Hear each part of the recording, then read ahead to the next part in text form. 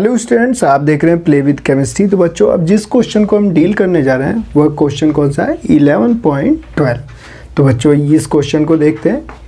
You are given benzene concentrate S two S O four and N H write the equations for the preparation of phenol using these reagents क्या बनाना है बच्चों यहाँ पे? ध्यान दीजिएगा। हमें किसकी फॉर्मेशन करनी है? फिनॉल की।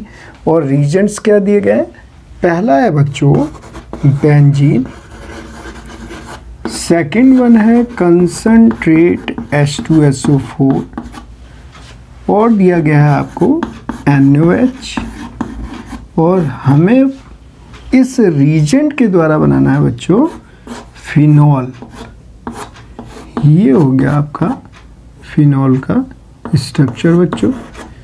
हमें जो फॉर्मेशन करनी है, किसकी करनी है? फिनॉल की। तो सबसे पहले क्या किया जाए? सबसे पहले हम लोग बेंजीन से रिएक्शन कराते हैं बच्चों H2SO4 की। इससे क्या होगा? इससे होगा सल्फोनेशन तो ये कैसा दिया गया है? कंसनट्रेट इससे क्या बनेगा? इससे जो फॉर्मेशन होगी, यहाँ पे बनेगा बच्चों SO3H प्लस H2O और ये क्या बना? इसका नाम है बेंजीन सल्फोनिक एसिड। क्या बन जाएगा बच्चों? बेंजीन सल्फोनिक एसिड बन जाएगा। जब कंसनट्रेट H2SO4 से रिएक्शन कराएँगे तो बेंजीन सल्फोनिक एसिड बन जाता है। और देखिए, ये कैसे बना बच्चों? इस H2SO4 को आप जब बेंजीन से रिएक्शन करा रहे हैं तो यहाँ लिया हमने H और इस H2SO4 को HOSO3H लिख लीजिए। यहाँ से H2O रिमूव कर दीजिए और SO3H का अटैचमेंट दे दीजिए। तो क्या बन जाएगा? बेंजीन सल्फोनिक एसिड बन जाएगा बच्चों। अब सेकंड स्टेप में इसके सेकंड स्टेप को देखते बच्चों। इस बेंजीन सल्फोनिक एसिड में ये क्या हो गया? एसिड अब इसमें हम डाल देते हैं बेस को। तो ये बेस से रिएक्शन करके क्या बनाएगा बच्चों? जब बेस से रिएक्शन करेगा तो किसकी फॉर्मेशन करेगा? सॉल्ट की। तो ये देखिए, यहाँ बन जाएगा S O three N A plus H two निकल जाएगा। तो ये क्या बन गया?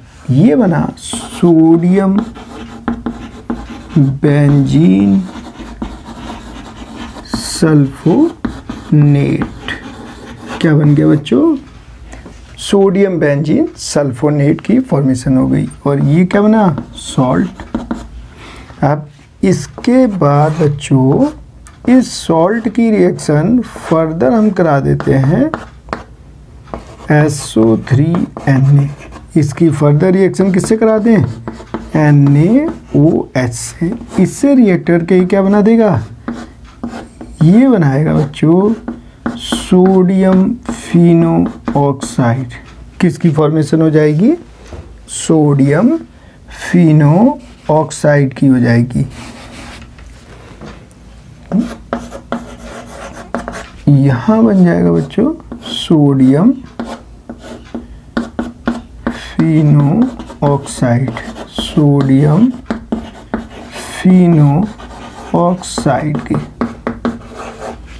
इसके बाद बच्चों फोर्थ स्टेप में, और यहाँ क्या निकल जाएगा? N A H S O three निकल जाएगा। सोडियम बाई सल्फाइड बन जाएगा। यहाँ से, ठीक है बच्चों? और ये बना लेगा सोडियम फिनो ऑक्साइड और इस सोडियम फिनो ऑक्साइड से हम क्या बना लेंगे? फिनॉल। तो यहाँ क्या किया जाए? यहाँ पे हम लोग एसिड के साथ रिएक्शन करा देते हैं। यहाँ पर बच्चों डाइल्यूट एसिड के साथ हम रिएक्शन करा देते हैं। तो ये देखिए, ये क्या बन जाएगा? ये बन जाएगा आपका phenol plus N A C L. ये बन गया बच्चों फिनॉल देखिए इजीली गिवन रीजेंट से हमने किसकी फॉर्मेशन कर दी? फिनॉल की. तो फ़र्स्ट स्टेप में हमने क्या किया? हमने H2SO4 की रिएक्शन करा के क्या बना दिया? बेंजीन सल्फोनिक एसिड उसके बाद बेस से रिएक्शन कराई तो सॉल्ट की फॉर्मेशन हो गई. फर्दर बेस से कराएँगे तो सोडियम फिनो ऑक्साइड बन जाएगा.